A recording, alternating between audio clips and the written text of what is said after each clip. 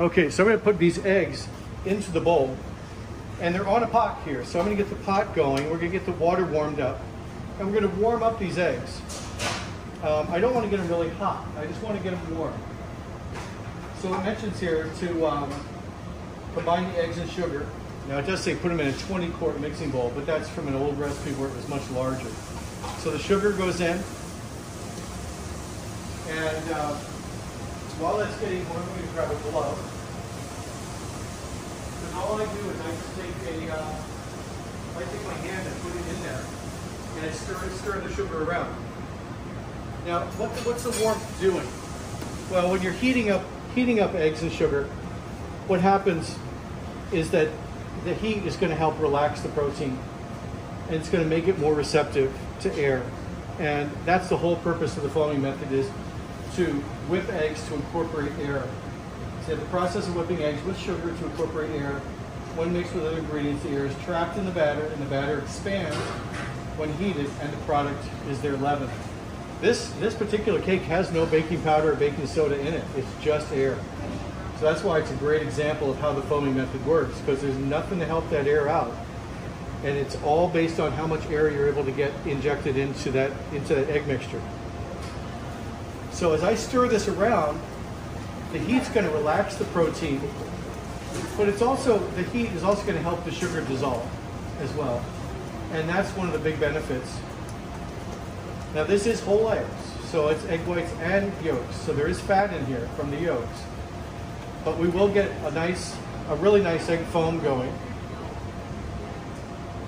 I've got this uh, turned all the way up, so I'll give this a chance to warm up the water a little bit. I'm just going to get it up to bath water temperature. You know, just maybe 105, 110 degrees, just enough so that it has a chance to dissolve that sugar and it also has a chance to uh, warm up the eggs a little bit. Then we'll put it on the mixer and we'll whip it until it's at full volume. So we get the maximum volume out of it. From there, it's a very simple operation because all we do is then we fold in flour, which will help stabilize everything, a little bit of vanilla, and we'll put it in a, in a prepared cake pan and we'll bake it off. And it's a very simple cake. This cake is um, by itself uh, a very, very old-fashioned type, type of cake. Um, comes from time before baking powder and baking soda, so all they had was eggs to work with. And um, it's probably been around since the six, late 1600s, maybe the early 1700s, that they started using this style of cake. But it's, as I say, it's a great example of how, how air can be your only leavener and eggs can do it all. The one thing about eggs that I've always said about baking is if we didn't have eggs, we would be we would have we would miss out on maybe 80% of all the baked goods we know. There's so many things that rely on eggs. Whether it be eggs foamed up, whether it be eggs mixed in to help moisten, other, other times they're mixed in to help form an emulsion, but whatever they're used for, they're the only ingredient that starts off as a liquid when you're mixing and turns into a solid when it's baked it's very unique. No other ingredient does it. And so far, uh, in, all, in all the vegan baking I've done, I cannot find anything from the, from the vegetable kingdom that does what an egg does. Um, now, if it has eggs in it, vegans won't eat it. Uh, I used to be a vegan, I know. I never ate eggs when I was a vegan. Um, but nothing will coagulate like eggs do. There are egg substitutes, you know, people do it all the time they try to substitute an egg, but it won't won't behave like an egg. So um, that's the one thing that is a darn shame, is I can't seem to find anything in the in the plant world that will do what an egg does. So this is starting to warm up. I can feel the eggs are starting to get like lukewarm now.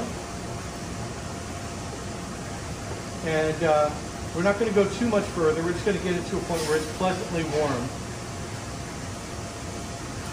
And I keep them moving like this because I don't want the heat to get too intense. I don't want to cook the eggs, right? I don't want to have scrambled eggs. I just want liquid, warm, warm liquid egg and sugar. So I'd say that's about enough. I can feel it's getting to be about like the temperature of a nice warm bathtub. So we'll just transfer that right over to our mixer. And we're gonna whip it full speed.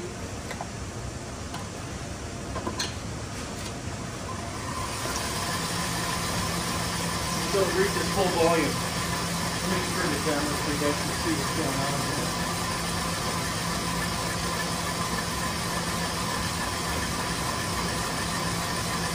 Now, how do I know it's full volume?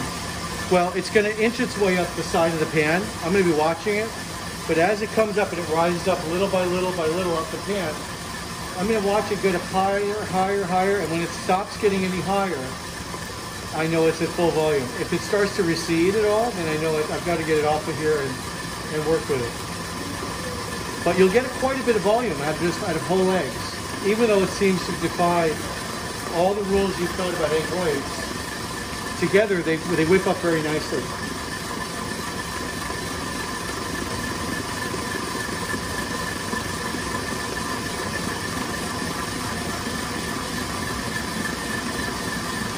Good.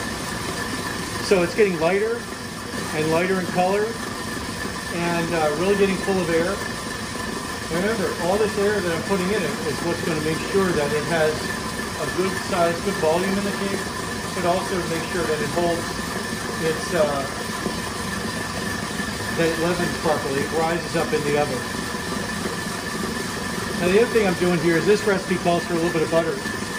So I'm floating this little piece of butter in hot water to melt it while we're getting this whipped up. Uh, normally butter is, is fat, so that would normally cause this to collapse, and it can cause it to collapse a little bit but it adds a lot of shine, adds a lot of flavor. So butter is a very traditional last little thing we put in. This is coming up pretty nicely now. And I think we've just about got to highest volume now. We're about to maximum volume.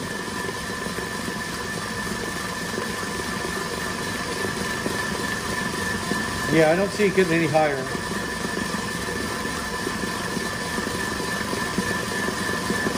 There's a step in this recipe that calls for stabilizing the egg foam. It says stabilize the mixture by whipping on medium speed for up to 10 more minutes. I would say we could get it on low to medium speed and just allow, we get up to 10 minutes. So, uh,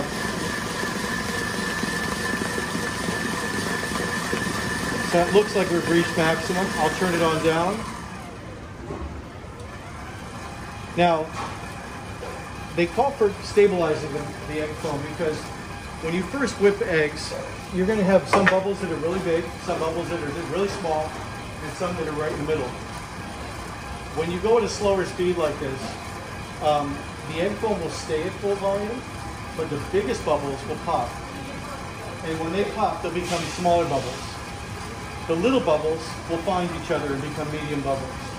So in about two to five minutes of stabilizing, you're gonna find that your foam looks different. It'll look smoother, it'll look more satiny, it'll have a nice sheen to it, a little bit more of a, a steady and even sheen than it would when it was first whipped.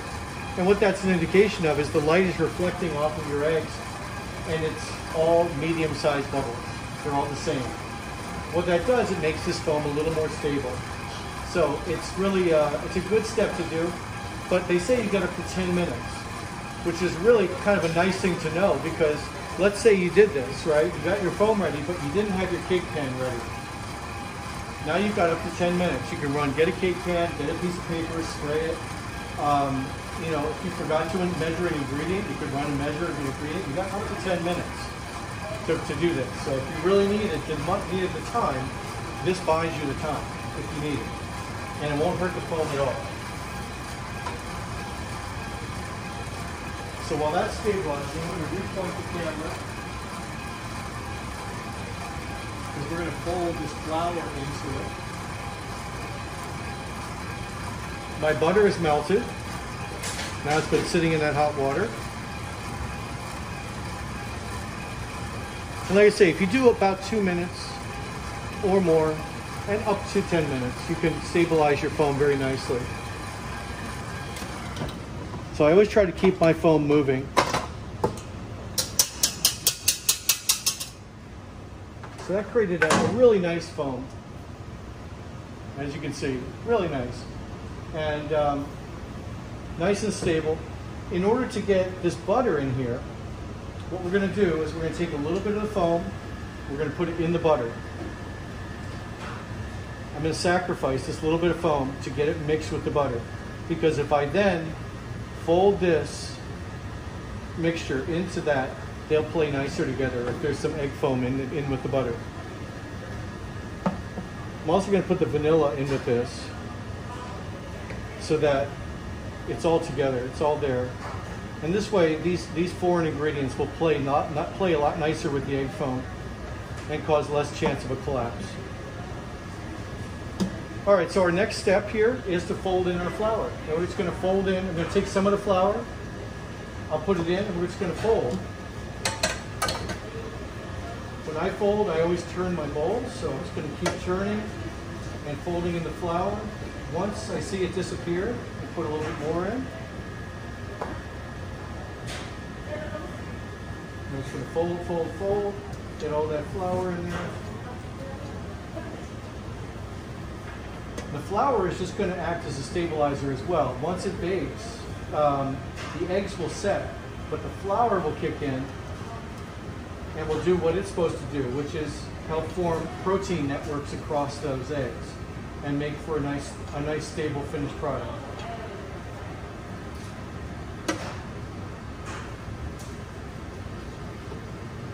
Okay, that's disappeared. Put the rest of that in there. Now I'm trying to be as efficient as I can when I fold because I don't want to lose I don't want to lose much of this foam. And every time I stroke this and, and every time I uh, fold, I'm losing a little bit of foam. So I just have to be aware of that. I don't want to sit here forever and fold because I could lose an awful lot of the foam. Okay, now comes the butter, right? The butter that's been mixed in with the vanilla and the fat, or the vanilla and the egg mixture. Just gonna put that in and fold it in last.